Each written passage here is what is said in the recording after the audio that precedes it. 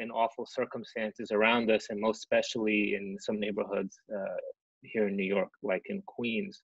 So we thought actually, uh, who better to have this discussion with than um, Raquel, Daniel, and Cea.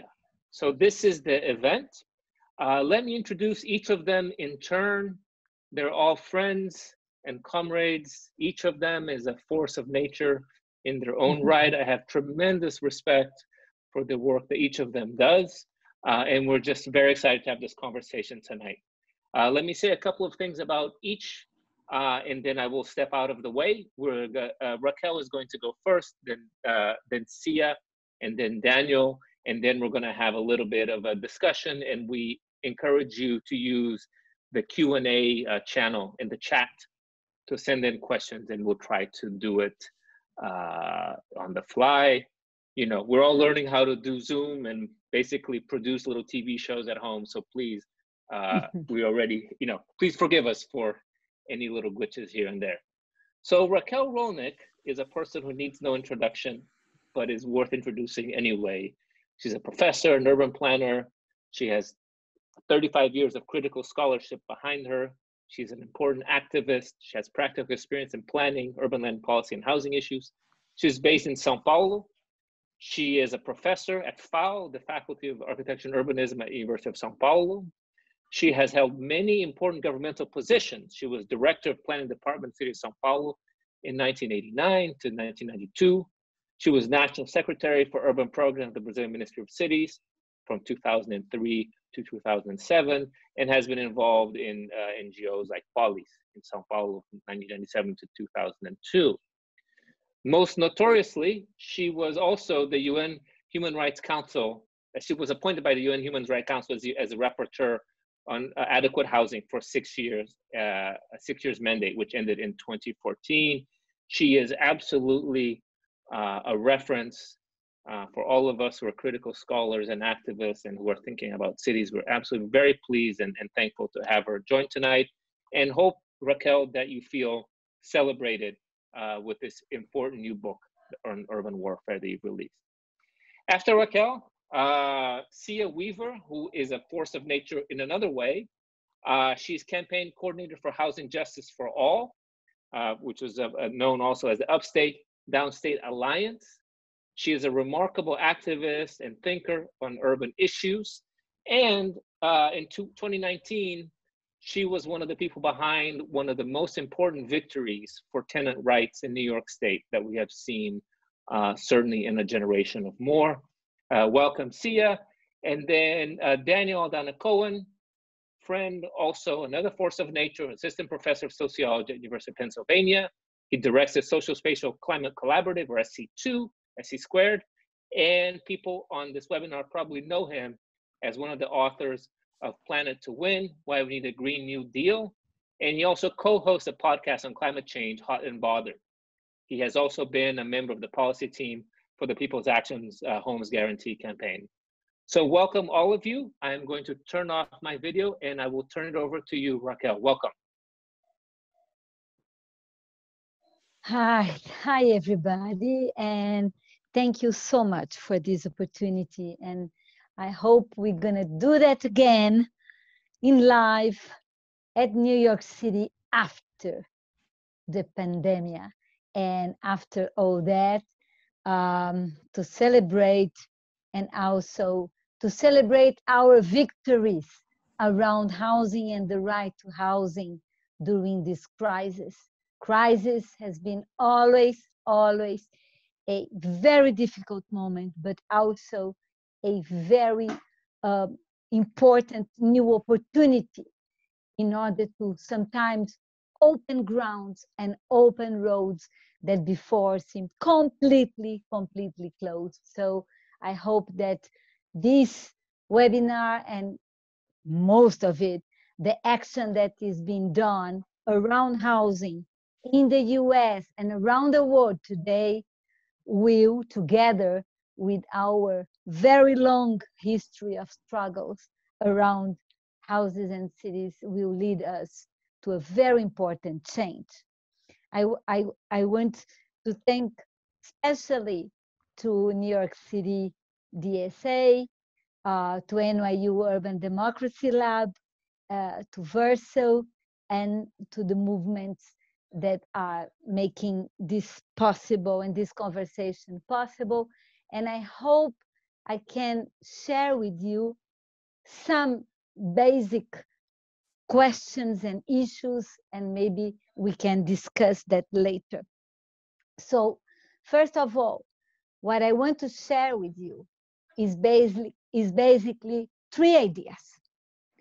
One idea is that the crisis that we are living, the housing emergency that we are living, is, and we can call it a housing emergency because the health emergency is a housing emergency as well and must be understood and taken as a housing emergency, which was not created at all by the spread of the virus at all, but it has to do with a pre-existing condition in our cities, in our countries, and um, a housing crisis was there and was there for many years. And uh, because the housing crisis was there for many years, now we know much more why there was a housing crisis. And we are in the position also to understand how much this state of things have created the ground now, not only for the crisis to be more acute, of course, but also making opening the ground to know where are the strings and channels that we need to move in order in a post-pandemic scenario be able to reconstruct housing and housing policies. And that's exactly what we need to do. Uh, so i will talk a little bit about this pre-existing condition and basically the content of of my book which and the main question of the of the book uh, and the main thesis of the book is that housing crisis that we can see in New York City, in many cities in US, in North America, in many countries in Europe, in South America, in many countries in Africa, in Asia, this global scenario, this global situation of housing crisis was absolutely governmental made. Uh, it was um, the result of policy choices. It was the result of um, certain beliefs and hypotheses on housing that spread over the world. Yes, I'm talking about neoliberalism and all the thinking that you can have anything you wish through the market and housing, the market will provide adequate housing for all. And that was the main credo and belief that we had for many years.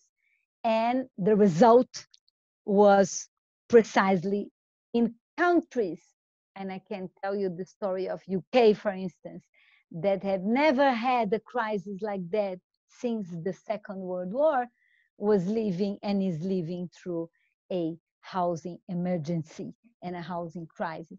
And the number of people that are going be, that are homeless everywhere, also it's a sign of the total, complete failure of this model. But also in the in the in the last part of my talk, I will try to talk about what happened after the financial crisis and uh, when we are talking about the recovery measures that were taken after the financial crisis and also the result of those measures on housing.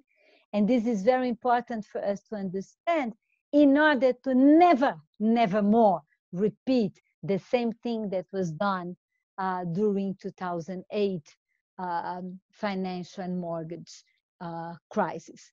So, uh, and finally, uh, in, by the end, I want to talk a little bit about the struggles around housing, the struggles around housing, which are truly at this moment global. And to put the challenge on the table, we are dealing with the global process. So how can we make our struggles global as well? How can we do that? So very briefly, I think that by now, most of the people um, know already um, what happened with housing. Housing became basically housing, the housing paradigm around the world has shifted from housing being a social policy, part of the welfare system in the countries where the welfare system existed. Yes, we are talking about few countries, not many, but also as as a desire, as an illusion, as an idea, an ideal in other countries, as housing as a human right, as something that uh, everybody must have, despite the income, despite the gender, despite its race or religion or whatever. So this paradigm shift was was started in the basically in US and UK, US under Ronald Reagan and UK under Margaret Thatcher, where the idea was basically uh, to dismantle any state supported policy of housing provision for all any idea of universal access to housing towards a one single model for all, which is home ownership through credit, home ownership through mortgage. And of course, we are talking about a global process. And as any other global process, uh, there is many common trends all over, but in every country, every particular experience of this process was very unique and dependent on the particular political economy of housing, land, and, and urban in each country and even in each city. But we are talking, what we are talking about, we are talking about uh, the shift, yes, and structural adjustment, fiscal austerity has to do with that because we are shifting the idea of state debt towards the indebtedness of the people. But not only that, we basically are talking about a global process where we have a new colonial empire it's a, it's a colonial empire that is faceless, is flagless, and the name is global finance. And the build space and housing, the residential market specifically, became one important, very important playground for financial markets. And we are talking about a global market, a free, completely free flow of investments that can go without any barriers. Yes, for people, there are walls and barriers for them to uh, not to, to impede them to migrate, but not for financial capital. And through digital technologies, it's very easy way to move financial capital from one place to the other place, and it's just a bit.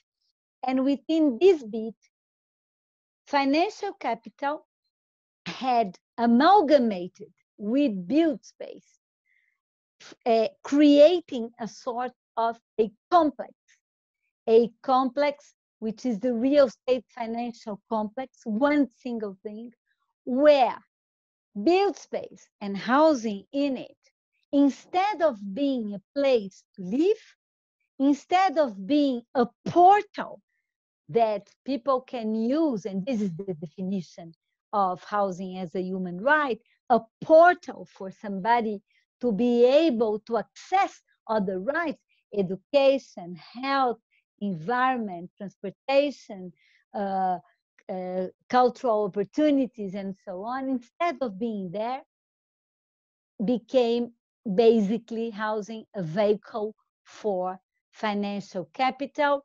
In this very big and gray cloud of financial capital, which is floating around the globe and looking for where to park. And housing became one of the preferred places to park. And that happened through different phases and different moments in different countries, but also if we take uh, in Europe and also in North America, the first wave, which coincided with massive privatization of public housing in many countries, uh, was also the transfer of funds, and this was so clear in the, in the case of US, the transfer of public funds from funding public housing towards tax exemptions for homeownership and other and other regulations like that in order to open ground for this financial capital to park. But this has also a territorial dimension because that meant massive processes of displacements and dispossession. And I'm talking about the public housing that were demolished in order to open ground to new developments that are not meant to the poor, but I also am talking about and then shifting com completely to the south to the self-built settlements of low-income people like we have in most cities in Latin America that had to be evicted in order to open ground to this new development, so-called modern, so-called with better conditions, but literally banishing low-income people, low middle class from cities.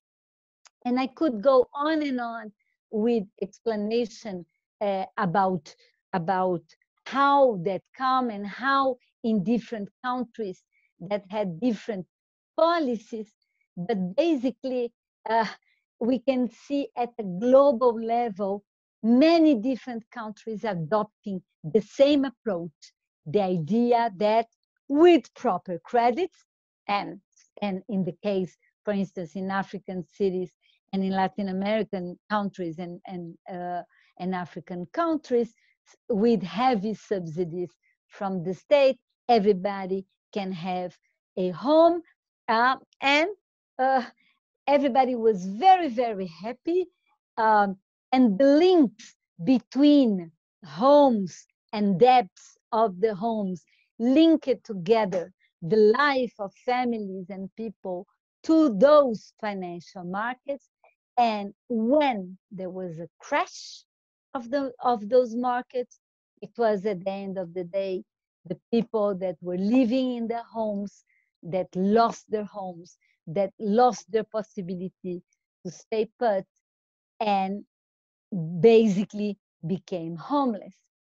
And then if we if we think about the crisis and the financial crisis the response to the crisis in a lot of countries was to bail out banks to bail out financial actors and just leave all the people behind. But more perverse than that a second wave of financialization of housing came with the so-called devaluated stock of homes after uh, the financial and mortgage crisis became very attractive to whom? To the same investment funds, to the same financial players that became global corporate landlords that bought part of the stock and put the stock to rent. This was one, not, not the only one, but one of uh, the ways by which rental housing became also the next playground for financial capital to play. Other mechanisms um, like Airbnb and digital platforms and all and different ways by which financial capital enter into the rental market also uh, has transformed completely the affordability and possibility for the people to rent their homes uh, or to stay in the neighborhoods, in the communities they used to live. Again, we are talking of, of built space not being th thought as, a, as places to live, but only as a very extractive way of providing to financial capital more interest and more and more and more money.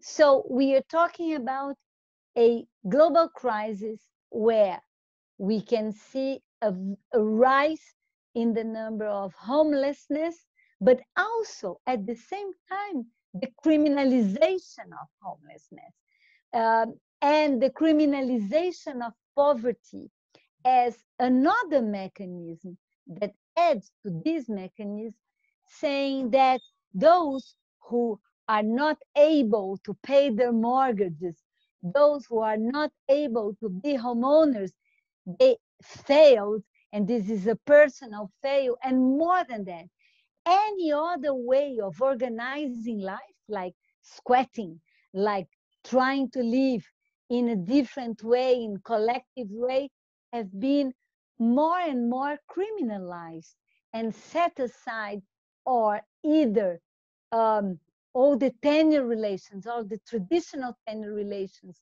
which are not only the one and only homeownership model has been residu residualized and also uh, criminalized.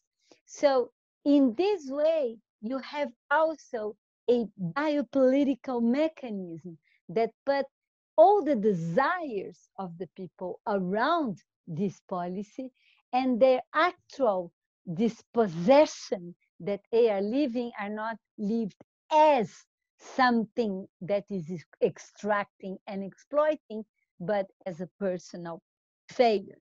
So, uh, of course, there is many examples of, of dif different ways in which in different countries uh, that is happening, but we basically can summarize saying that we are talking about massive process of dispossession and massive process of displacement and housing policies became one of the main important policies that provoked that in our cities, in our countries.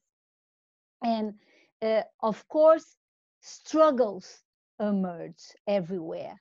And we can say, oh, the important struggles that were organized, for instance, in Spain towards foreclosure homes, and then now around rent.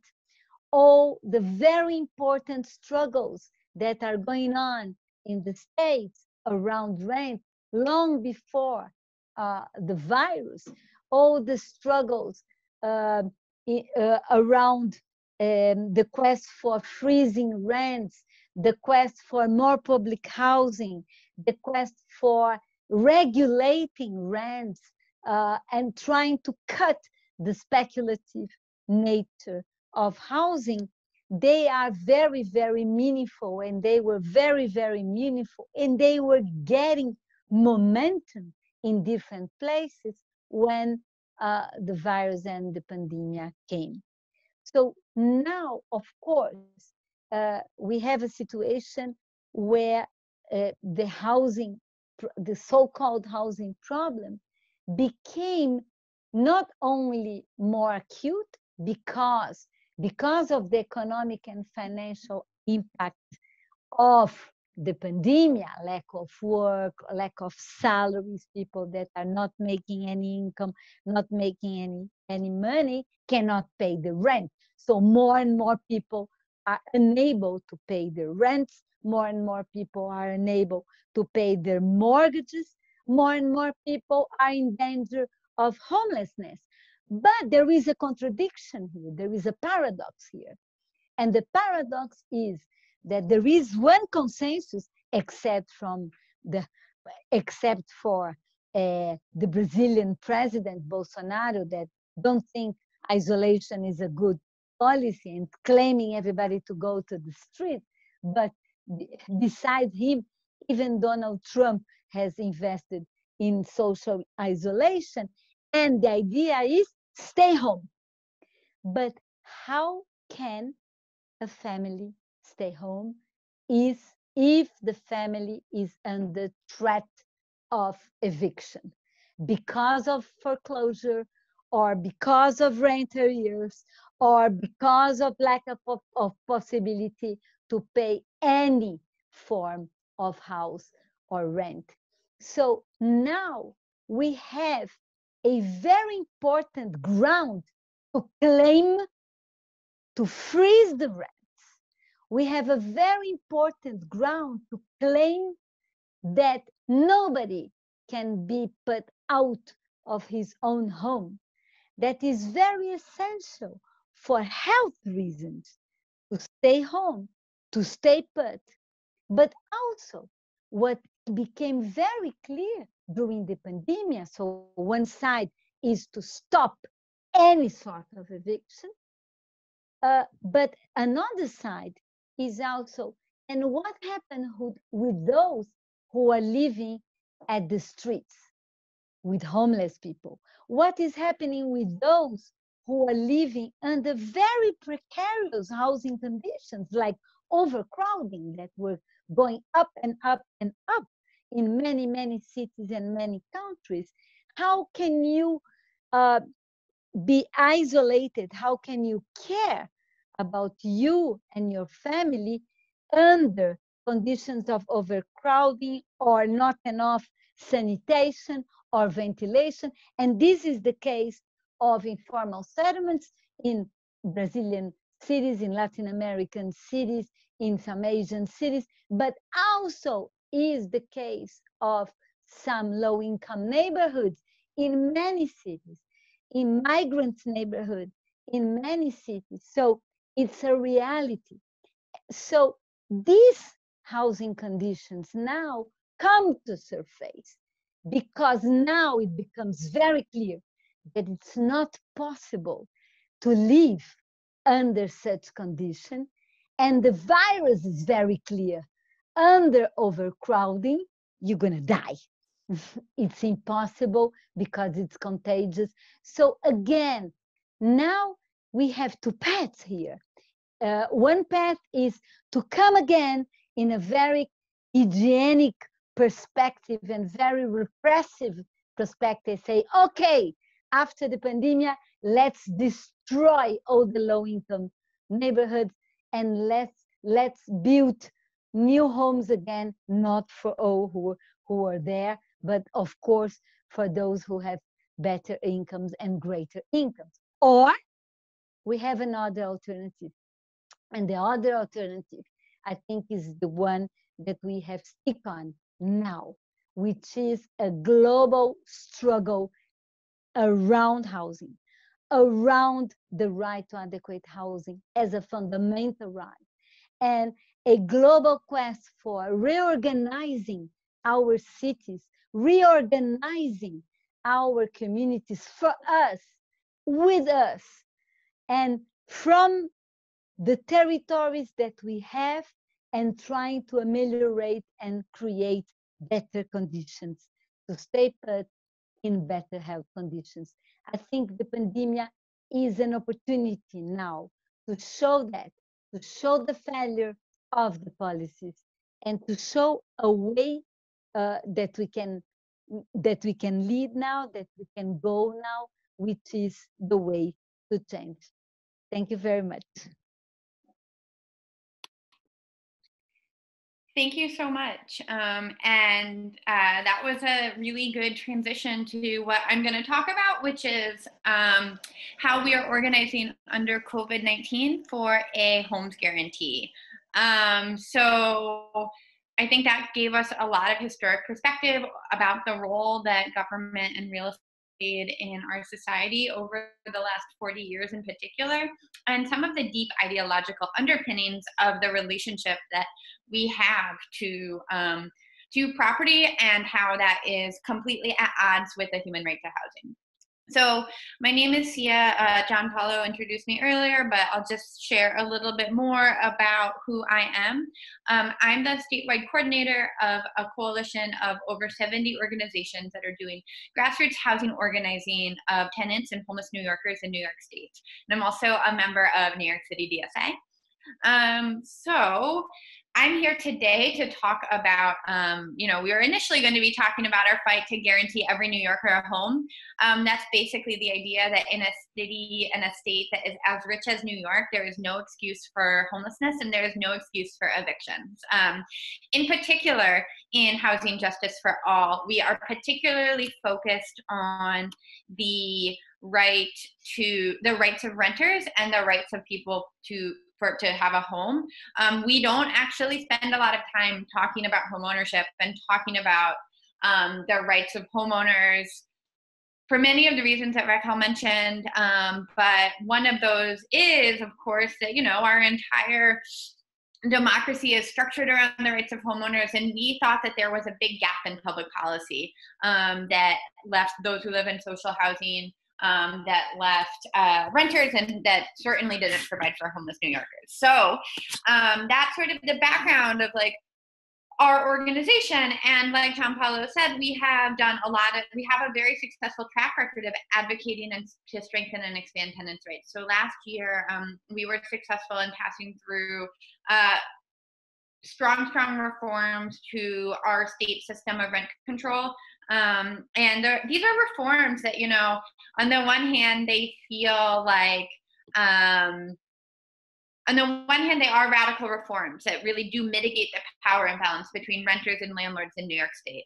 And on the other hand, they just catch us back up to where we were um, in the late 80s or early 90s when uh, sort of a cabal of the real estate industry and the right wing in New York State uh, weakening legislation in weakening holes in our renters' rights framework. And the year that they did that, um, that meant that the system would really self-destruct. And the same year that they did that, they passed model legislation in 36 other states that made rent control illegal.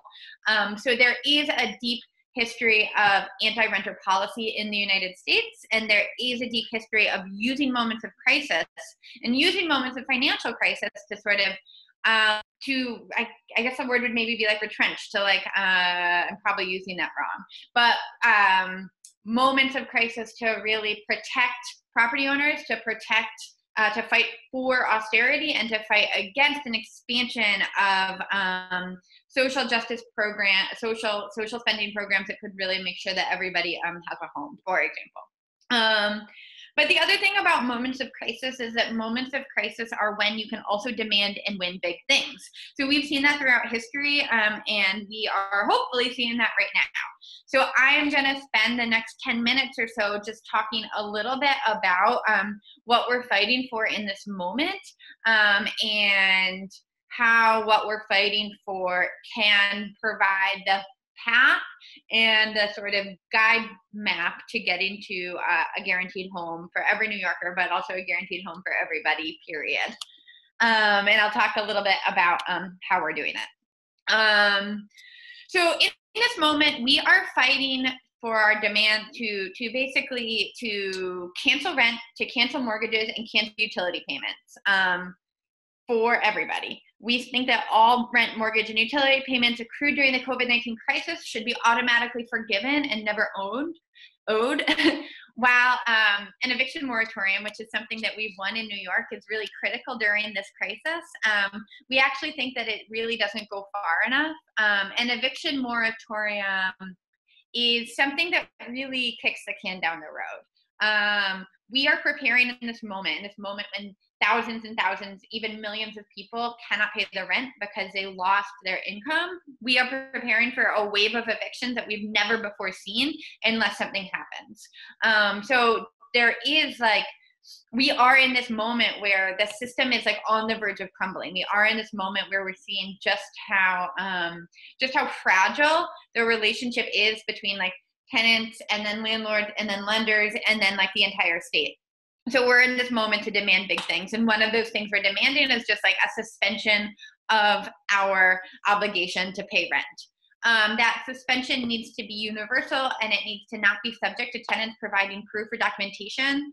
Um, there's a lot of reasons why that's really important. I think the two main reasons is one, that this crisis impacts people who work in the gig and informal economy the most. And those are folks who are not going to be able to prove a loss of income and two, um, it's important to make sure that any program is accessible to undocumented New Yorkers who typically are unable to apply for the same sort of um, rent assistance programs that you might typically think think about. Um, and so when we talk about cancel rent, we're not talking about you know a universal voucher program or a program to help people pay the rent. Um, those are some of the sort of pretty conservative policies that were pushed through like by the Nixon administration that really are ways to sort of uh, hijack the social welfare state and use it to transfer wealth to landlords um, and use it to subsidize private profit. What we're really talking about is we're talking about asking landlords to eat the cost of the fact that like we can't pay rent for two to three months.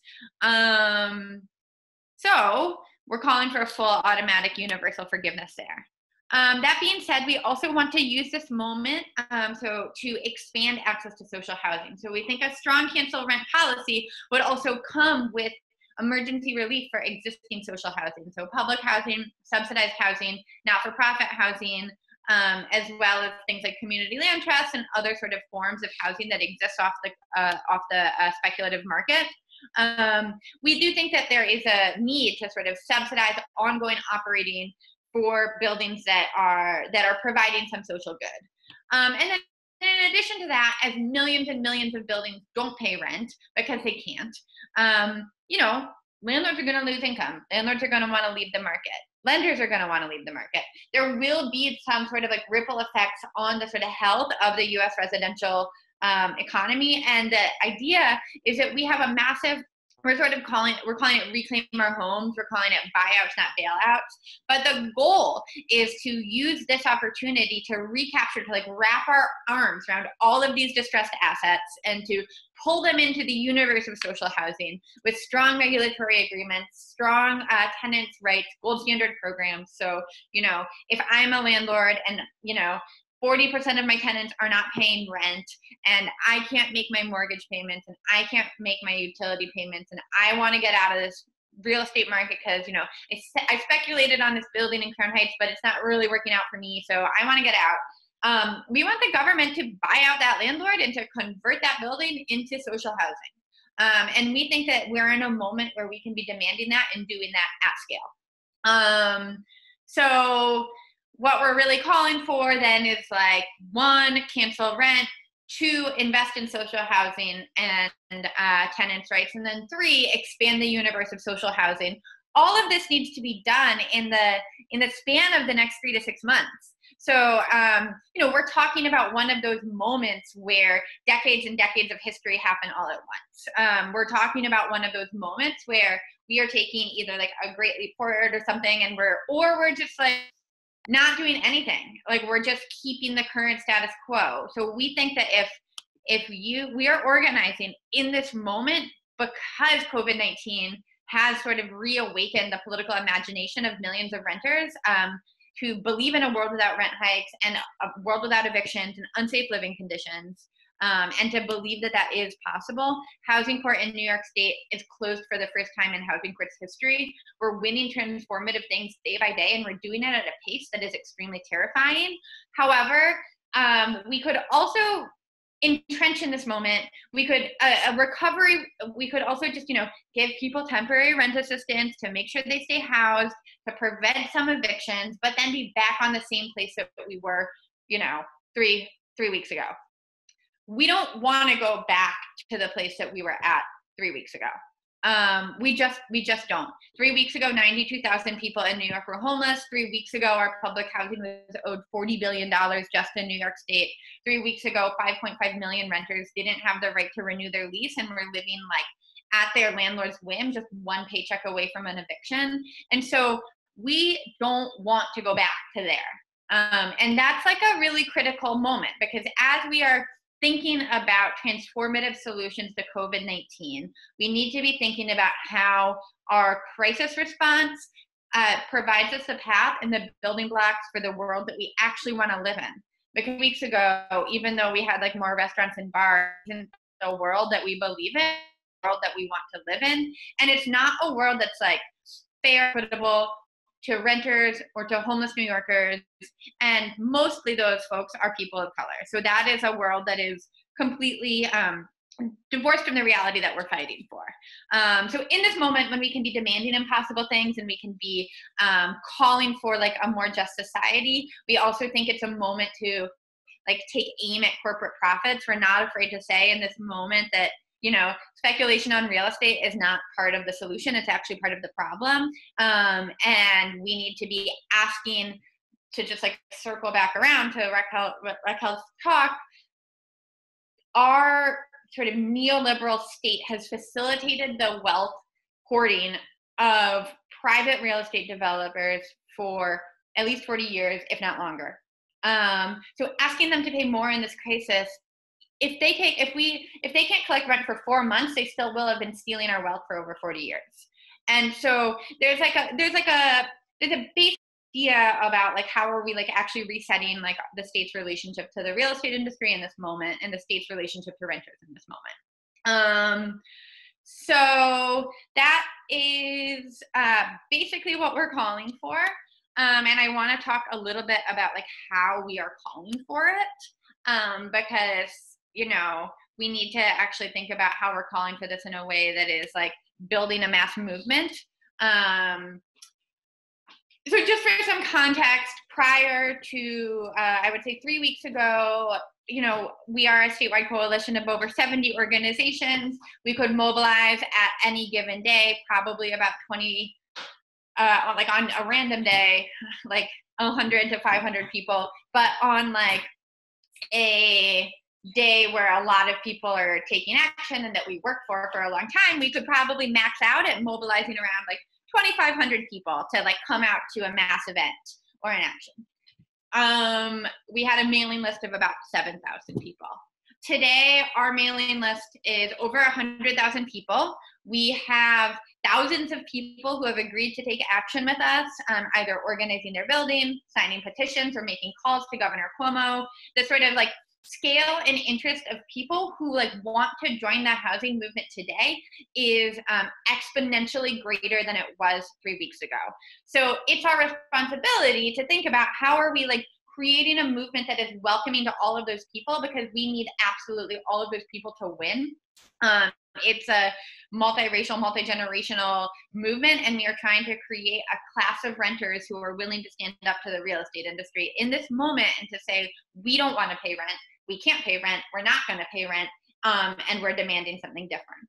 Um, so what can you do to get involved and like what are some of the things that we're doing to get involved? So we called, we signed a petition to cancel rent uh, and to reclaim our homes to Governor Cuomo. Um, so that's the very first thing. If you haven't done it, you can sign that petition. Um, the next step that you can do to get involved is you can tell your COVID 19 housing story. One of the things that we're struggling with in this moment is how you can actually get, how can we create the, the social justice housing movement requires people coming together, but we're in a moment when we can't come together.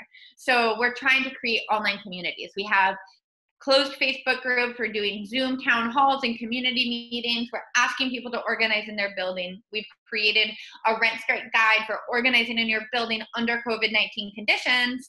And we are collecting stories from tenants across the state so that you can visualize your story in the context of millions of other stories. And they're going up on this map that I'll um, put in the chat. Oh, shoot I just put a typo. This is what you get when you try and talk and type at the same time. Um, so so we're creating stories. So step one, sign the petition and ask 10 friends to do it. Step two, tell your COVID-19 housing story and make sure you share a picture. It's a lot. If you don't want to share your own picture, a picture of your house or your cat or something that's meaningful to you, um, your story is a lot more powerful if people can visualize it. We need to put a face to the fact that 30% of renters didn't pay their rent. Governor Cuomo knows 30% of New Yorkers didn't pay their rent. He doesn't care because he doesn't know who you are. So, like, putting a face on that is really critical to our organizing and storytelling strategy in this moment. Um, and then the third thing we're asking people to do is we are asking people on May 1st whether you can pay rent or can't pay rent, not to pay rent. And we're asking you to do that in solidarity with the millions of New Yorkers who can't pay um, and we're asking you to do it knowing that you will not be taken to court on May 15th or May 30th. Housing courts are closed until at least June 20th. There is no rush to pay your rent, but we need to increase the number of people who aren't paying their rent because they can't or in solidarity and talk to your neighbors about not paying rent, organize a tenants union in your building, um, use mutual aid networks that you're committed to or a part of um, to really talk about how can we not pay rent? How can we talk about the fact that I'm not paying rent alone, you're not paying rent alone? It would be more powerful if we weren't paying rent together. Um, so we are doing those are like basically the three asks sign the petition, tell your story, don't pay your rent, and talk to your neighbors in any way you can about all of that. Um, and if you sign the petition, you will get plugged into our mailing list, so you will hear about next steps you can take. Um, and the last thing I will say is that this is a tremendously powerful moment. It's a tremendously scary moment. You have to remember that um, the person who is in the White House is, and foremost, the New York City landlord. And that our enemies are so powerful, but our enemies rely on our consent.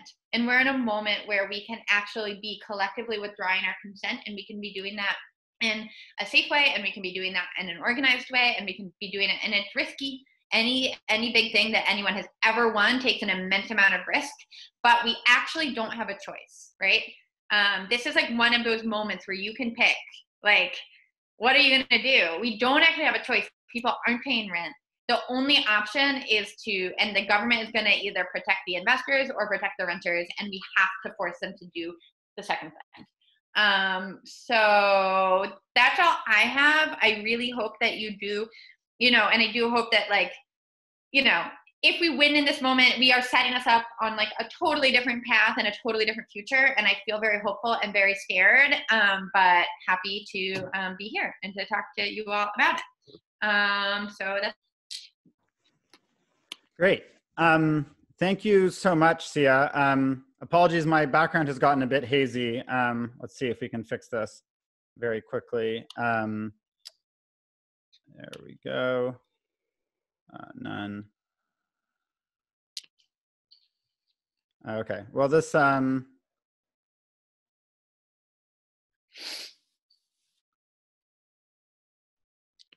This is too complex, so we're going to skip it. Um, whoa. Okay. So um, you saw what was there before. What was there before was the Karl Marx Hof, which is a giant and beautiful social housing complex in Vienna. And why I've chosen it um, is for this reason.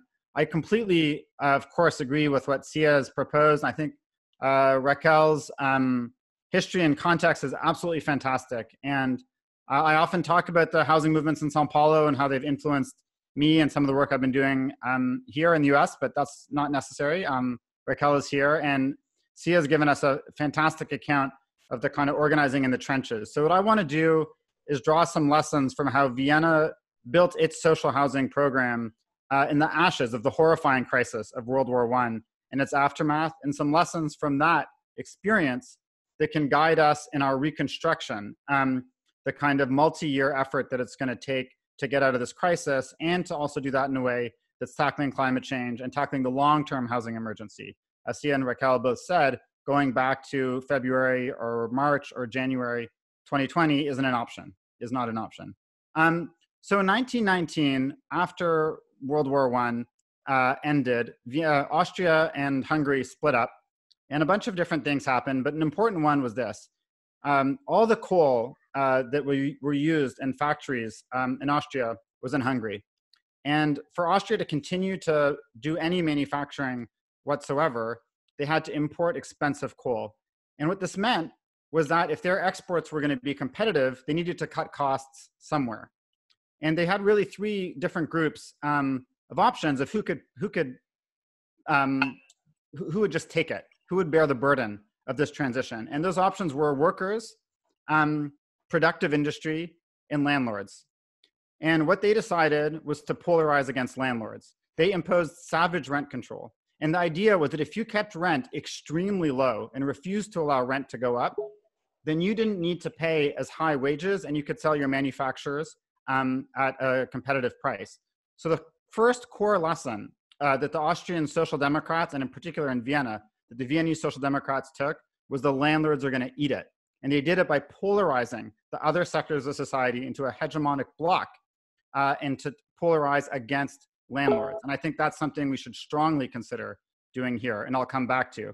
Indeed, the second thing that they did, and I'm going to give you a list of these lessons, is they taxed real estate intensely, um, and they taxed it very progressively. Um, Austria um, had uh, Vienna rather had a number of, of workers who were not were not housed. You know, tens of thousands of workers with no adequate housing. They needed to fund their social housing program. What did they do? They taxed real estate so progressively that the top 0.5% of the properties paid 40% of the tax. Top 0.5% of the properties paid 40% of the tax. Second, they taxed rich people more generally. They taxed luxuries like racehorses and champagne. And overall, in Vienna, about a third of the funds for public housing construction came from luxury taxes. Um, and in a time of climate change, this is also important. We keep talking about a generic carbon tax as if a working class person driving their pickup around is the cause of this crisis. And it's not. Globally, the top 5% use more energy than the bottom 50%. Um, and so we need a tax sadism for the very rich. Red Vienna's uh, finance minister, a renegade banker called Hugo Breitner, was called literally a tax sadist. Um, right? It's about raising money and it's about changing the power balance. Um, and by the way, the public housing that they were building was designed to cost 3% of a semi skilled worker's salary. The fourth lesson is you have to build. Um, we need new housing. The Homes Guarantee campaign that Cea and I are both um, a part of, the Homes Guarantee campaign uh, believes that we need 12 million new units of social housing in the next 10 years. In Red Vienna, they built housing for 10% of the city's population in roughly a decade. 64,000 units housing 200,000 people. And we can build uh, a lot and we can do it uh, in a way that drives sustainable construction methods that don't cause carbon emissions and that actually help with a regenerative economy. The fifth lesson is to build in a multi-purpose way. If we are going to construct things um, with physical labor, with financial resources, uh, we need to do it in a way that is efficient and that meets multiple different needs at the same time. So now we call this multifunctional social uh, infrastructure. Back then, they just called it social housing. In, um, in Vienna's housing, um, the it, building that was behind me before when the background was working, the Karl Marx Hof, which is kind of the jewel of Red Vienna's housing construction. That one complex not only had apartments, uh, 1,200 apartments, it had laundries, a dental clinic, a health insurance office, a maternity clinic, a library, a youth hostel, a post office, a pharmacy, 25 other uh, commerces, including a restaurant and including a showroom of something called the Best, all caps B E S T, which was the city run furnishing and interior design service um, to help working people uh, basically fill up the space in their, in their gorgeous new apartments. The courtyards alone of the Karl Marx Hof covered 31 acres. 80% of the lot coverage was courtyard. And people complain about modernist superblocks. I've been to the Karl Marx Hof in Red Vienna. It's beautiful, it's intimate, and it's full of now bike sheds. Um, and by the way, the Green New Deal for public housing bill that um, AOC and Bernie Sanders introduced has a similar spirit. They talk about, for instance, having uh, small shops where people, residents of public housing and other community members can buy affordable organic food. And you might smile and laugh. This is actually an idea that's already occurring in Brazil. Um, in Greater São Paulo in São Bernardo, a suburb which, where Lula was um, became a famous labor leader, uh, there is a, a, housing movement that's building a complex right now that's got a deal already with the landless movement to sell organic food at least once a week. So this is absolutely something that we can and should do and learn from, from Sao Paulo. Um, we should build everywhere, sixth lesson. Uh, today, the great planning critic Sam Stein, uh, obviously a friend of the, the DSA and, and, and Jacobin, um, talks about the need to build density and to prioritize that, that construction in wealthy neighborhoods so that we're not just upzoning poor neighborhoods. Um, and he's right. Uh, in Red Vienna, they purposely built public housing in every single zip code so that no one could be discriminated against based on their address, which is something, by the way, that the right hated, um, but the social democratic majority of working people getting homes overpowered them. Seventh lesson is employ workers.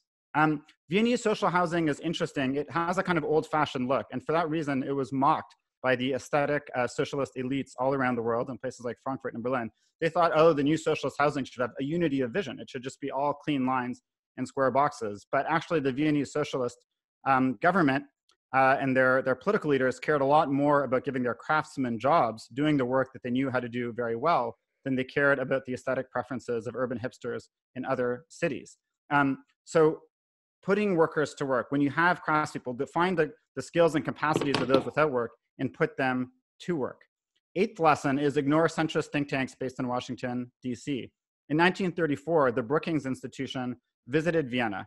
They wrote a report about it, and they said that the housing was extravagant, that it was a waste of money. They said that Vienna would have been, would have been more efficient and intelligent if instead of building this beautiful public housing for 10% of its population, they had built concrete boxes for workers in the suburbs. Um, and the Brookings Institute um, was not the only people who thought this. So did the fascists who won Austria's civil war. In fact, the fascists stormed into Vienna and they literally shelled the Karl Marxhof and other public housing complexes, which they called red fortresses. This was their decisive blow in the civil war um, in Vienna. And indeed, the political architect of Red Vienna's housing program uh, called Danneberg was killed, murdered in Auschwitz in 1942. So housing is a matter of life and death, but don't be on the wrong side of history with the Brookings Institute. Um, the ninth lesson is never change uh, when you have something good going. After World War II, um, the spirit of Red Vienna continued. The city continued to build a lot of very good public housing. They adopted important feminist urban planning practices around principles of social reproduction that we talk about here today. Um, right now in Vienna, a third of the city's housing is public, a third of the city's housing is cooperative, a third of the city's housing is private market. It's relatively dense. The housing is available to people of all classes. They've started to impose caps on the highest reaches of the upper middle class to get into public housing, which is unfortunate, but it still remains a far more universal, universalistic program than what we have in the United States, which of course helps to create um, buy-in. Um, Vienna is consistently ranked the world's most livable city. It has some of the highest public transit use in the world, and that's connected to the fact that social housing is built throughout the city, and Vienna's per capita carbon emissions are minuscule. So those were nine core lessons. Um, now, in a different talk with more time, I would tell you all about how close we came to this vision in the United States, how some of the socialist and cooperativist housing, even some of the philanthropic housing in New York in the 1920s and 30s were very similar to this model, that the Public Works Administration came close to something like this model, but they were defeated by the real estate industry, which in the United States in the 1930s, the real estate industry imposed a two-tier housing system where most public money went to support mortgages for middle and upper class white people and built lower quality public housing for um, working class people and increasingly black and brown working class people. Indeed, the real estate industry by 1937 had already won uh, rules that limited the amount that could be spent per unit of social housing. Um, so we have to kind of, in some ways, undo that pact from the 1930s. Okay, so what are the lessons I think that we can take as we start to advocate for a green, and I would argue like a red green reconstruction out of this crisis once it's safe to get back to work? First, the foundational genius of Red Vienna is to polarize against landlords, attack them for being unproductive attack them for being unproductive in contrast to industry. And while we in the United States are not going to rebuild the entire economy out of manufacturing, um, that ship has sailed. We do want to be productive. There are things that we want to make. Um, we want to make housing, sustainable, no carbon housing. Um, we need many, many more workers to do that work. We need many more workers in farm fields doing very good work uh, under good conditions, growing good food that doesn't have the zoonotic uh, transfer of viruses between animals and humans. We need those farmers doing good work and being well paid for providing good food by workers in cities who make good wages. We need more nurses, obviously. We need more doctors, more teachers, more childcare workers, and so on. Everything that we need is the opposite of what landlordism and finance represents, and we should not be shy about making that argument. Um, second, um, do many things at the same time. Um, there is a limit to how many resources we have, especially physical resources. Um, and so if we're gonna build housing, which I think we should, why not also combine that with our social policies, our environmental policies, our feminist policies, right? Everybody needs to benefit. We should see housing construction in communities as a creation of social spaces of what I would call temples of public luxury that everybody will benefit from. Um, third lesson is that this we can't just build new housing. We have a lot of housing. Right now, a third of Americans can't afford the energy uh, in their housing. Utility costs are the main reason that people take out payday loans. So I think we can also create a retrofit industry with the similar principles where we can actually industrialize retrofits. This is a model coming out of Holland, talking about it even in the Department of, Department of Energy in the US. We can kind of industrialize retrofits and we can have uh, an ethic of care and repair for our housing, bringing the housing stock we have up to standard, using public investment to ensure that all low income housing is healthy, um, is affordable to operate, has the cleanest, most modern, most healthy, most efficient um, appliances and HVAC systems so that homes are cool in the summer and warm in the winter. Um, and finally, again, I think this notion of public luxury is what we should um, aim for. It's the same notion as you have in, in Vienna. If you, it is the lesson basically, if you take from the rich and you build from below with working class people in charge, um, you are not going to get the concrete shacks. Um, that's the stereotype of the left, but is in fact the vision of the Brookings Institute and other centrists in DC. No, what we will have when we are in charge, when the left and when socialists, um, through organizations like DSA, are leading the agenda, we will use our resources to create public amenities that benefit workers, benefit their communities, um, and finally provide stability and safety to people's lives in a time of economic turmoil and increasingly a time of climate turmoil. So I've talked really quickly um, at you, but I wanted to put these ideas on the table. And I think along with the very, very essential organizing in the trenches right now, the need to think also in a longer term sense about what will be the kind of red green reconstruction um, that we try to undertake in the months and years ahead as we recover from this crisis and tackle the climate emergency. Thank you.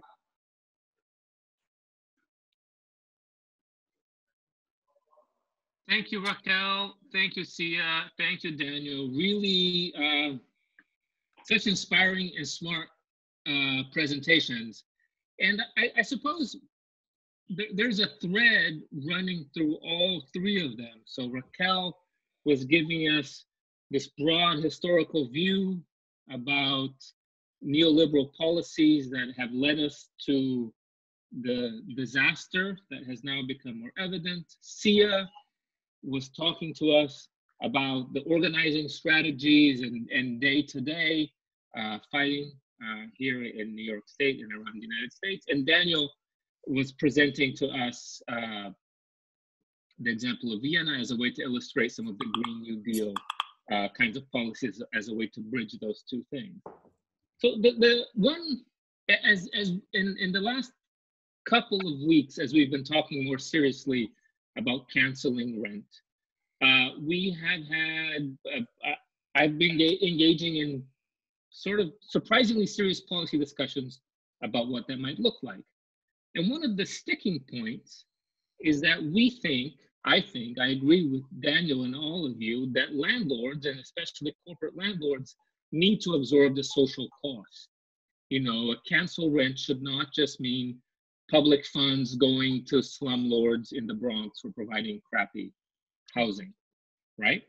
Um, so, so the but the the um, but when we talk about that in, in a more policy way, even with our more progressive elected officials, that's when the skepticism comes up. So the, the question I have for Raquel, for Cea, and for Daniel is how do we fight the power of landlords? Uh, there's a, I, I spoke with an Obama era HUD official a couple of days ago who said, look, the United States is locked into the landlords have so much power and they've built it in up and down the system and they own half of the elected officials and there's all kinds of laws and regulations in their favor. How do we begin to undo that very real power so that we can go from cancel rent on may 1st to this longer term vision of, build, of building public goods and raquel i would actually like to hear you since you have butted heads with landlords in Sao Paulo and in Brasilia. what does that fight look like and, and how do we win it? Uh, yeah, this is the question because we are not, we, we are fighting against, I would say, a coalition. It's not only landlords, it's a coalition made of landlords, which means uh, the invested capital in real estate seeking for yields and interest for a, a very long time, with all the financial uh, capital system that is behind it. For instance, if you think that uh, the workers' pension funds, our money, our savings, is the number one investor in real estate in US and in a, in a global uh, picture as well. So we start thinking that my money, your money, everybody's money, we are trying to save our little money in order in order to protect our retirement and our money is together with this great cloud uh, with petrodollars and Chinese plutocrats and Russian plutocrats. So I think it's a more deep question uh, around it because it's not just the landlord as a particular agent, but it's the whole system of how we organize our lives in a way that we are caught in this trap. So, how can we dismantle this trap? So, I would say that there are two, two issues here. One is, and it was super pleasure to hear Cea saying, one is to build a new strength, to build a new strength through mobilization and action. Mobilization, supporting a cause, but also direct action, like a rent strike or other moves like seizing empty buildings and empty places in order to transform them already in actual homes and then staying put and struggling to stay put. So one thing is to build another strength a strength that also uh, takes the relationship or or the bonds between people and the territory they occupy through other means of tenure like community land trusts cooperatives cooperative housing in a way that we are building new relations and new forms for our capital to circulate and our capital uh, to protect ourselves in the future. So I think this is very important and uh, to dismantle uh, this coalition that of course is deeply entrenched not only in the US but everywhere. But also I have a question. Uh, more and more you have also global and international flows intervening on that, not only local. So how can you deal with that? And this is a question for Daniel and Cea, how a struggle can connect with other struggles in other places in other countries. Sorry, Gianpaolo, for jumping a question on that. Yeah. I mean, so how do you beat the real estate industry? Um, uh, I don't know.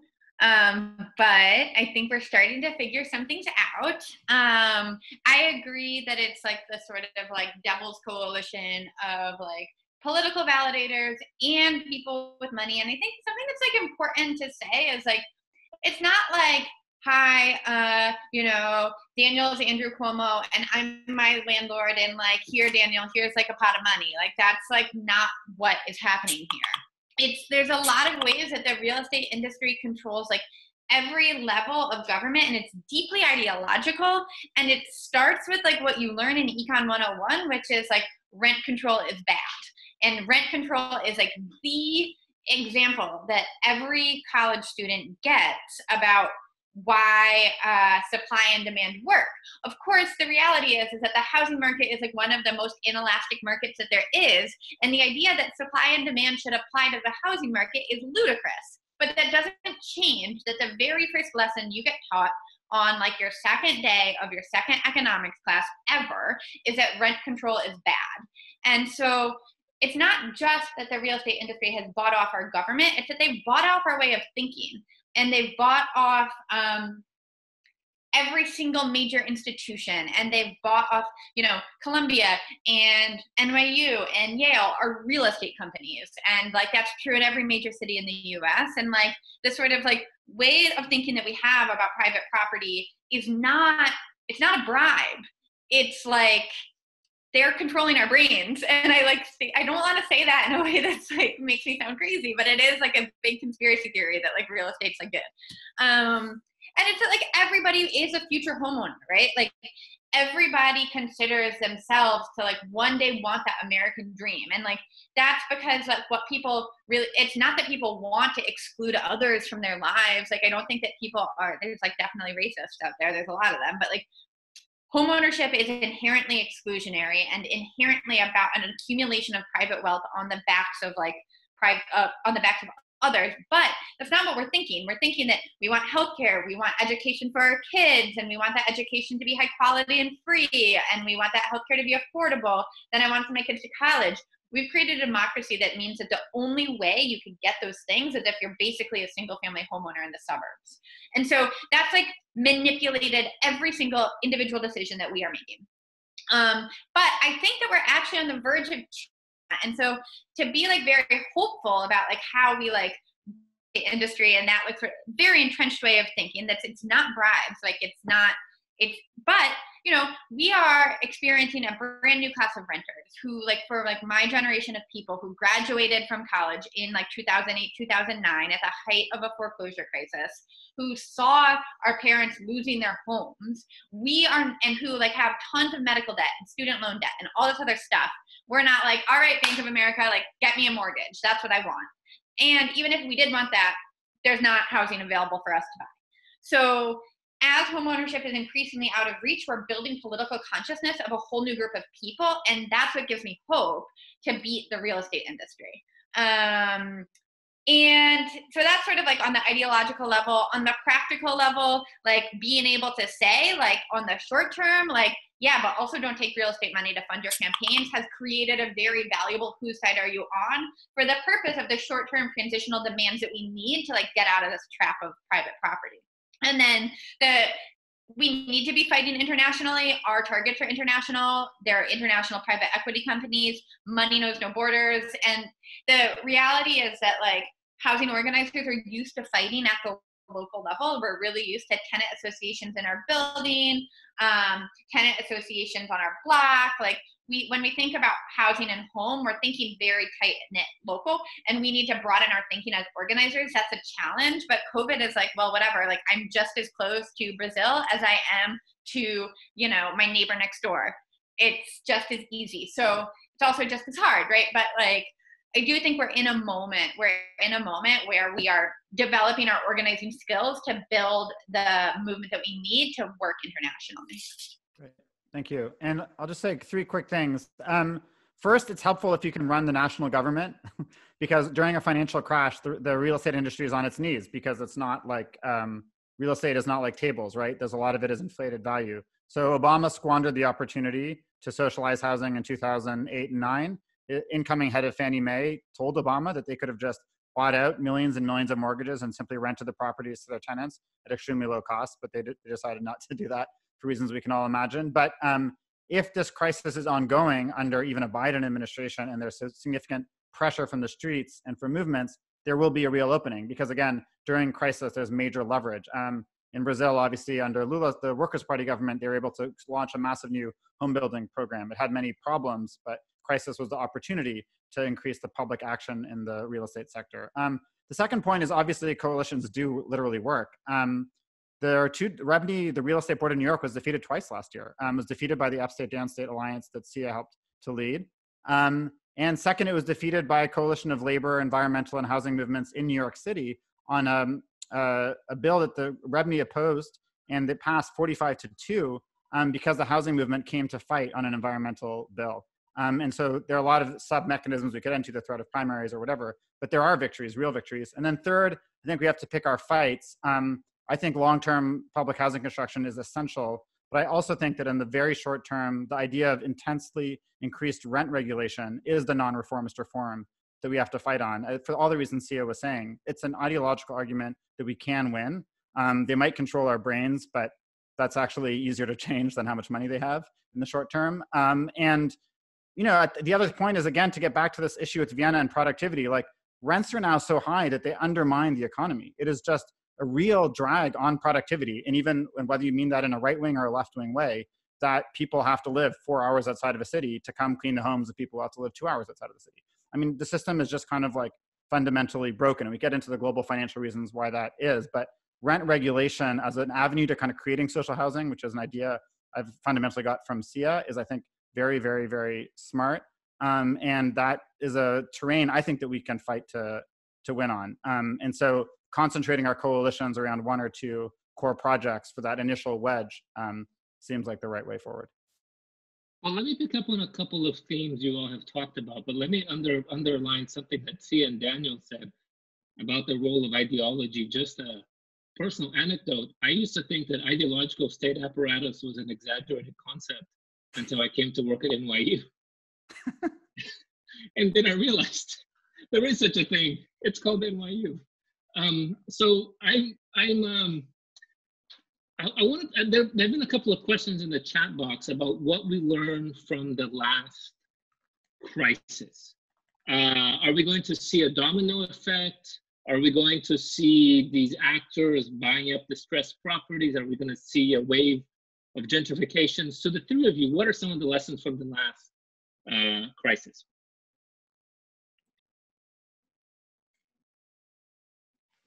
Yes, so I think that it's different. The situation is quite different. Um, first of all, the question of death and the proximity of death um, opens completely new ways and grounds for the people um, to rethink on previous relation. I think it's it's like a war after a war, and a war is the perfect example. A pandemic also is an example like that because you were dealing you were dealing with an economic harsh, a recession, um, like in other crises, and including the financial crisis, but it's different. You were dealing with something mortal. A lot of people are dying. There is a danger of more deaths. And that opens, and I see that, ground for new solidarities and new coalitions and I think uh, one of the lessons that we must learn from previous crises um, and and the reconstruction after World War One and World War Two were good examples, and Daniel brought them on the table. Is that one of the ways to go to reconstruct is back to basis so back to protect life and back to protect life, homes are very essential to that. Very necessary and very essential. So I think that what it's very important to learn from other crises is the type of solidarity chains, solidarity bonds that we are creating now during the crisis must be used as ground for permanent policies. And Daniel was saying, yes, we need to build more homes, on and on a, a green New Deal. I I would say we need immediately to share the spaces that we have, to share in a different way. And we are seeing that happening in a way without the support of the big mobilization of the government, but at the society level is, is happening this share. So I think this can bring, and I, I, I refer also to Marina question, that will be more or less gentrification after the crisis. Um, and it will be different in global north and south. In a way, global north and south are being very close under that. When I see the news about what is happening in New York City with the health system, with nurses, with the people, I see, oh, oh, I see some scenes that seem more like the South. So the South is everywhere now. Uh, so we, if the South is, is everywhere, maybe we can learn also from the South now. Learn from the South means this possibility of people themselves creating new ways of life and creating new, new ways of organizing their lives through solidarity and through uh, new forms of territorial organization. So I think that uh, that that are the lessons that we have to be. I am a little bit skeptical about big, big Marshall plans uh, because maybe Marshall plans, as we have seen in the case of Brazil and the Lula uh, with the program My House, My Life, can be more of the same, can be to build more, uh, but to go back to the same way. I know that we're not saying that, we're not referring that, but I think that we have to think now immediately what are the new ways. And the new ways is the ones that we are living now already, that we are creating now already during the crisis.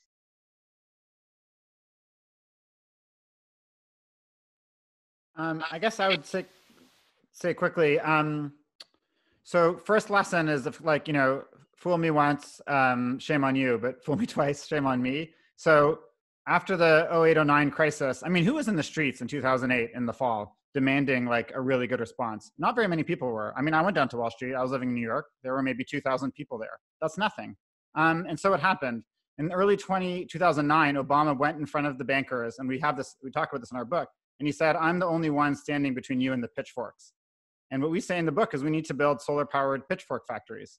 And I think that this time we're not going to settle. Like we learned the lesson of, of 08, 09, and we're not going to settle for a very middling bailout simply of the big corporations. So um, I think we do have to figure out exactly what the demands are, and they're different under a potential Biden than under Trump uh, right now. But I think that mobilizing popular rage is very, very important. We have to pick our enemies, name them, and be totally remorseless. And I don't know, maybe it won't end up being landlords. Maybe it'll be banks. Maybe it'll be both. But whoever they are, we have to go after them. And the other point I agree with you, Raquel, actually, and if I, I, might get this wrong, but so correct me if I do, Raquel, but and the Minha Casa Minha Vida program, the huge home construction program under Lula in Brazil, um, something like one or two percent of the housing projects are somewhat controlled by the social movements, the housing movements, but not more than that. And that they, canceled that under Bolsonaro, of course.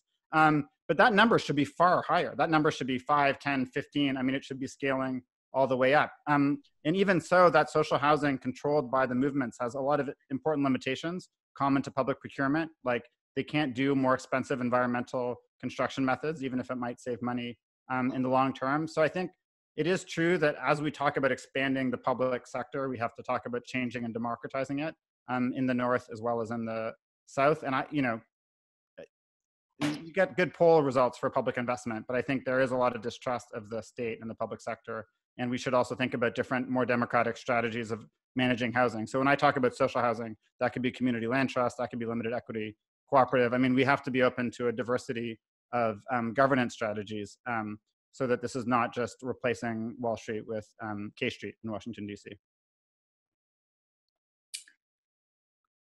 Yeah, I mean, I think that's right. I think like the fundamental question for the left has been how can our how can our solutions scale um, and yeah, I guess that's all that I, that's all that I have to say. Like I think like out of 2008, 2009 in New York, you know, we got like a handful of buildings that we were able to take out of the market, but overwhelmingly the right wing was able to scale at a much more effective way. Um, they were able to buy tons of mortgages off, like for every like one like home defenders eviction blockade stopped the foreclosure made that building a community land converted that multifamily foreclosure into mutual housing for every one of those the private equity companies bought like 10,000 homes um, so i think that we saw in 2009 some like examples of instances of like how to and what a world could be. And we sort of leveraged some popular rage around Occupy Wall Street, and that sort of translated to a lot of what we're seeing right now. I really do think that. But I think that the left and the solutions that we pose, probably because we're nicer and better, have we have trouble scaling. Like I think we do have more people, but we care a lot more about democracy. We care about more about like collective control and um and I think our challenge, and I, I think our challenge is how we are, scale our vision. I, I don't have any good ideas yet, but you know, I hope we get there. I, I don't want to drop this question of scaling our vision because it's really important. It runs through all the presentations too. I, well, I wanted to pick up on something that Raquel said and that you were alluding to, Cea and Daniel too, and it's been coming through in the questions. And this is the people holding the solar powered pitchforks. You know, there is this language in the housing justice movement, right to the city uses see that housing is an intersectional issue.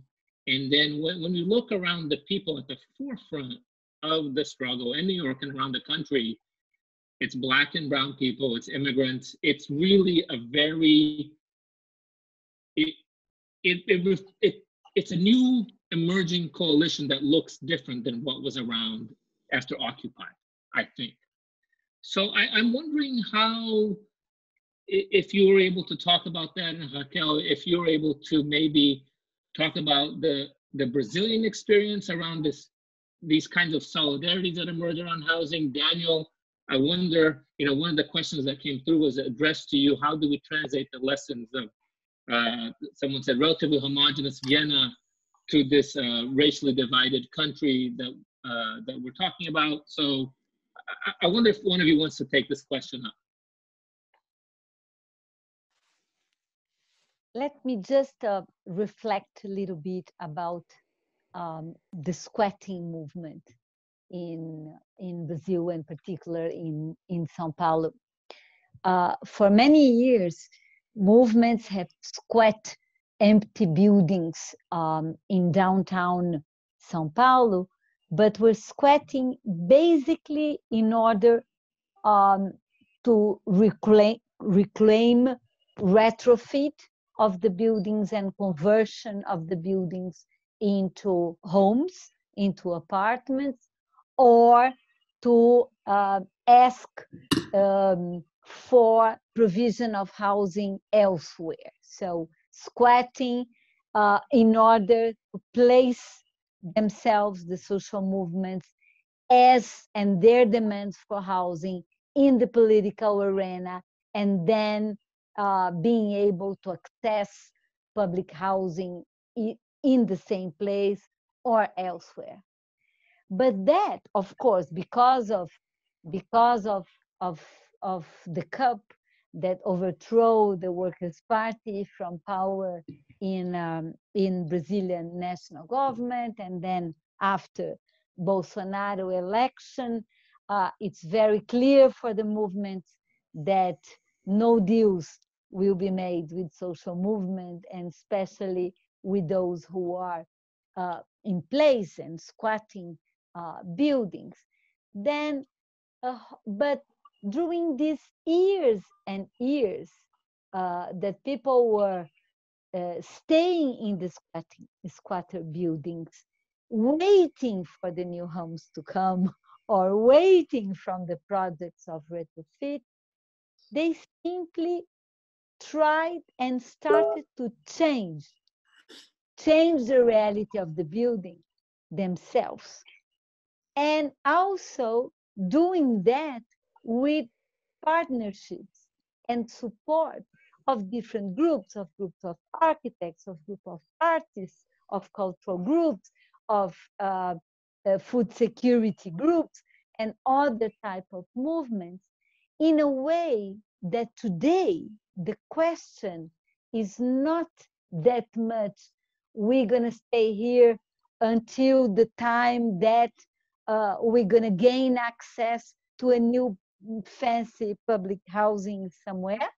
But we are staying here and we are transforming our lives already. Now in the place in the place we are living with and counting on the partnerships that were built during these years and years of struggle and fight. I think this is a very good example of direct action. Yes, I'm, I'm talking about a few buildings. Yes, how to scale that, how to make that happen in a much broader way. I think that in order to scale, the most important thing is the successful example that those can bring on the arena that yes, it's possible to survive. Yes, it's possible to create a different territory under a different form of organization, social organization, and tenure relations. Can I? Um, I actually mainly want to ask a question to Cea. Um, which is so i want to take this theme that Raquel's bringing up which is like what can we do to work with what we have right it would be great and hopefully we will build lots of beautiful new social housing but in the meantime um, and you know quickly i mean in vienna i think they taxed the landlords i mean they didn't use imperial earnings but we could get into that but i, I guess i'm thinking like places like berlin um, or other places that have very very strong rent control creates a different relationship to housing and Cea i feel like i've heard from you a few times this idea that um, very stringent kinds of rent control can essentially convert private market into something that's almost de facto social housing. And I would say that yeah. seems to be scalable. Like, in other words, you could pass national rent control. That's a lot easier than building millions of units. So I don't know. Is that yeah. hear more from yeah. you? I mean, I think I think that the fundamental conversation here is like who has power to set the vision for where we live. And so that's why when we talk about public housing, democratically controlled public housing is really important. And that's why when Raquel is talking about the communities and that she's describing, um, that you know that's a self it's a created community where the people who are living there are like setting the agenda. And and so you know people like home ownership because they like control and that's been perverted by like deep racism and deep classism in our society. So like we have to not have a racist and classist society and so that's like something we need to think about like deeply. Um but you know um we it's about to me it's about control and why rent control is really important is because rent control alters the dynamic the power dynamic between renters and who who owns the building and it creates um, an ability to organize where you are it sort of like creates like have the ability to like have a union um, because you can set the agenda without the fear of being economically displaced or your landlord just not renewing your lease. And so, really strong rent controls are not really about making housing more affordable, although they can do that. But I think if we're talking about it that way, we're missing the point. It's about the right to organize, it's about the right to have self determination over your home. It's about taking collective power away from your landlord to raise your rent and saying, actually, you landlord, you don't have the authority to set the rent here. Um, there's a superstructure that's like bigger than you, and they're setting the rent, and we live here. And then we can do things like organize a tenant association free from retaliation. We can like put a garden in the backyard free from retaliation. We have like all of these other rights that are like incumbent on the fact that we live there, not incumbent on like how much we can pay or who happens to own the land. And so to me, this is really about like how can we be creating communities where we live and and that's why rent control to me is like just as good as like strong public housing strong public housing but it's like very authoritarian doesn't feel good mm-hmm. either right so like we do need to like think about like how we're creating democracy where we live um, that's collective and that's not exclusionary um, and I think that's really difficult in the U.S. context because the U.S. context is really racist and classist. Um, where everyone's like like looking out for themselves and not for anyone else and they, so that's hard right but like public policy can set culture too. Um, so it's a long road, but we're on the right path. Well, let me. Uh, there's there's a, a, couple of questions for you, Cea, in particular, but I want to underline this question of rent control. You know, these last couple of days, you've been looking at the history of rent control in the U.S., and one is around the economic crisis uh, in the 1920s in New York City, and then the second wave of rent control was after World War II, when the, it was a, a, a war measure uh, and then the third instance of rent control was tenants' victories in the state of New Jersey. Uh, and in all of those, it was a, a, decision that the public welfare is more important than the right to profit. And yeah. if you look at the European countries, you know, the countries that don't have very strong uh, social housing percentage wise, so for example, Germany has a relatively small amount, they have mm-hmm. incredibly strong rent control and tenant protection which makes everything very different. Uh, but there were a couple of questions about organizing, Cea, and then James was making sure that I ask it. And I would actually love to get the Raquel and Daniel to answer this question too. This is from anonymous attendee. They say, I've been trying to organize a tenant association at the building I live here in New York City, but most of the tenants are scared of evictions and the consequences that the landlords can take. What is a strategy to organize tenants that are scared of asking for their rights? I'm suffering from the health crisis and I will not be able to pay rent. I can't stop paying rent alone, but it seems like the other tenants are too scared or uninformed of their rights. So I would ask Cea and then the rest of the panelists, what do we say to this person? Yeah, I mean, that's hard. The reality is is that organizing is scary and risky. Like we're not going to win stuff unless we take risks, but it's really hard to take risk alone and it's um, less scary if you're doing it with your comrades. And so the first thing I would say is like, you know what? You need you shouldn't the first ask should not be to people who are scared like go all out, go on a rent strike. Like we're going to the streets. Like that's not the first ask. You got to get people comfortable. You got to build trust. You got to build solidarity, and we're in this together. So maybe the first thing you want to do in this moment is like, hey, I'm suffering from the health crisis. I can't pay my rent. What about you? Like, can we like start a WhatsApp group or a Facebook group for our building? We're gonna talk to each other about strategies. Um, maybe that's step one. Maybe it's like, hey, I heard that like you know, Miss Mossman on like the third I can't get groceries because her mom is sick. Maybe someone can come together to bring her groceries. Like build the community first. Um, and you know, some tenants, it's every building is different, and some tenants are going to be like, can't pay the rent, going on a rent strike. We're ready to go first. But like that's really rare. And the reality is, is like the first step is like build the community and then take like take action while you're building the community too. So it's like, hey, like I am afraid to like tell the landlord that I can't pay the rent, but like I think that maybe if we did this together and we formed a tenant association, we didn't have to put our individual names on it. Like we could say we're the tenant association and we can't pay the rent. Um, and then you can think about ways to escalate it up from there. Um, but I think it's totally normal that people are afraid. Um, we put together a rent strike organizing guide that's not really just about rent strikes. It's also about um, organizing your building under COVID 19. And there's a lot of things that you can do in there tips to talk to your neighbors, tips to build community in a time of social distancing. Um, and really, I do think it is like forging the bonds with your neighbors that is going to be more important than your bonds with the with the landlord.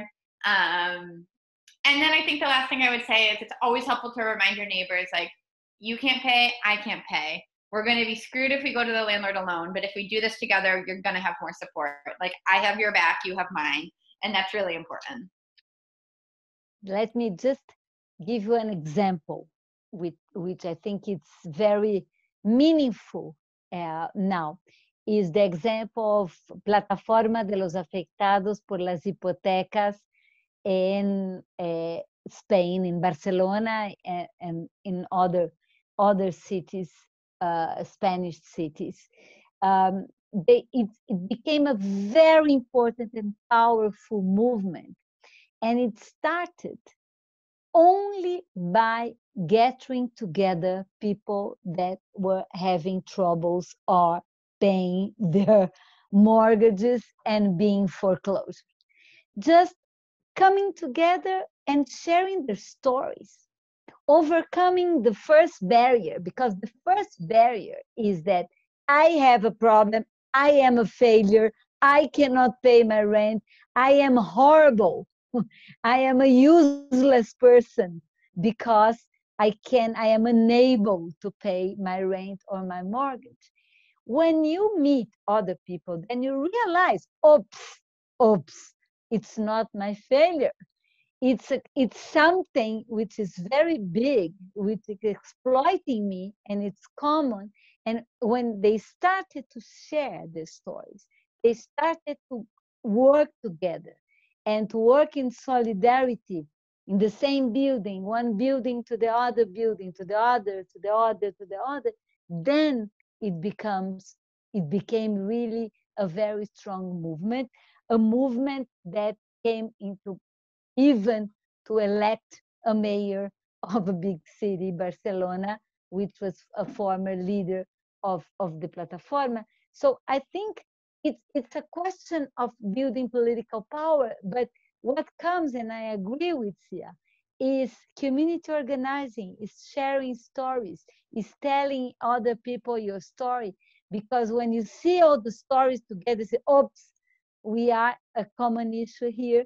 And um, maybe we are thousands and hundreds of thousands who have this combination. Then it starts the whole thing. Yeah. Um, I don't have anything to add on the mechanics of tenant organizing. I mean, Cea knows that better, and I think you have a really powerful answer that speaks to everything I've heard. Um, I would just say brief. I mean, I wish we had another hour because I, you know, something that's come up in Sao Paulo when talking with the housing movement there is the people in the housing movement there say to me like you know daniel it's only middle class people who want to do social tenancy housing what we want is to own our homes and i think it's it would be interesting and maybe another conversation to talk about the different ways the ideology of homeownership goes. And yet you don't have people in berlin they're not like oh i want to own my own home. They're like i want more rent control. So i don't know there's some kind of like phase shift or or like paradigm shift that that we have to find out a way to achieve. And um, i think in another time, it might be really interesting to talk about the ways that these ideologies kind of cross borders um, and how to deal with them. Because I think you know, Cea and Raquel are both right to think that like it's um, collective control of the home spans different kinds of things. Uh, it has to be democratic and etc. But there, there are these common challenges. So I think it'd be cool to get into them. Sometime. Totally, that happens so much in New York. You know, mm-hmm. like we don't want mm-hmm. rent control. We want to be homeowners. Like white people got to be homeowners. Why don't we get to be homeowners? You know, there's like a lot of that. It's but it also is generational so it's interesting is is generational and also is the fact that i mean there was being put forward as the one and only one and only and the real experience besides that was the experience of permanent transitoriness so how can we overcome permanent transitoriness without being homeowners so this is the question Amazing. Well, we've touched on a lot of things tonight. One thing I learned uh, with the Workers' Party in Brazil is that uh, good socialists don't run over long meetings because we're either in charge of social reproduction or there's people in the meeting participating with you who, who want to get to that. So I wanted to ask each of the panelists, uh, thanking you so much for your interventions. If there's any final thoughts uh, and comments uh, that you want to make. And maybe, James, you want to put something in the chat about how people can stay connected this campaign and to this discussion. I don't know who wants to go first. Maybe Cea?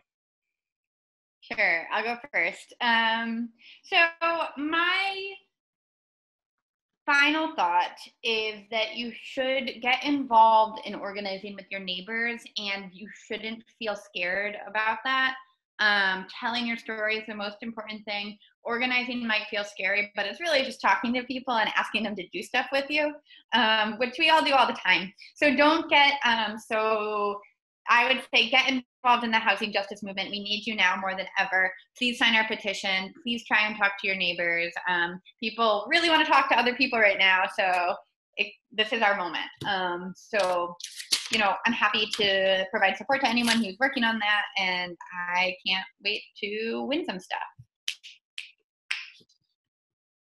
Yeah, the only thing I can say is yes, join the housing justice movement. go to rent strike.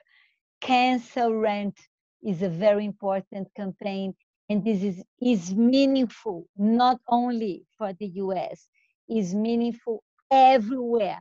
Is meaningful also in São Paulo, Brazil, is meaningful in other cities of uh, Latin America, where there is a lot of, of, of renters who are unable to pay the rent.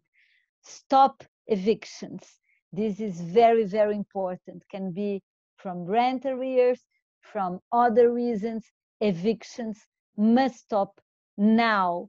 And then from that ground on, we can build a new ground for the housing movement and the right to housing everywhere. So uh, I, I, I thank you very, very much for this opportunity to listen for your struggles, your organizing efforts, and your proposal. And also, let's let's keep in touch and share much more.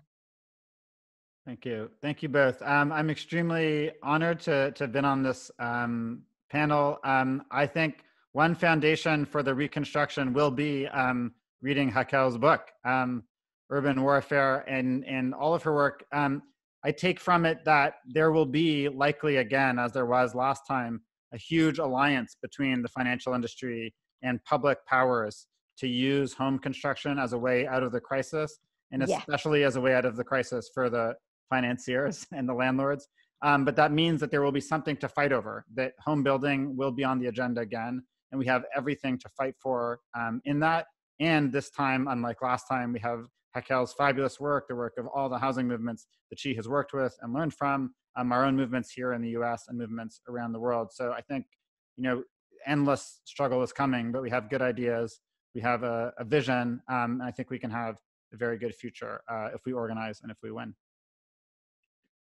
Thank you very much to everyone. Super honored to be in this conversation with you. All great conversations are one that raise more questions than give final answers, and this was amazing. And I put an invitation on the chat box where the Urban Democracy Lab is hosting an event on Thursday where we're going to talk with Mohammed Atia, uh, Ilana Berger, and someone from Amazonians United about some of the frontline labor organizing that's been going on around New York City. We hope you join us. And thank you so much, NYC, DSA, Verso Books, Urban Democracy Lab, Defend Democracy in Brazil, and the panelists for making this event so successful. Thank you. Thank you so much for having us. Thank you. Yeah. Thank you, James. Thanks, Bye James. Bye. Bye. Thanks, everybody. Woo! Woo, we did it.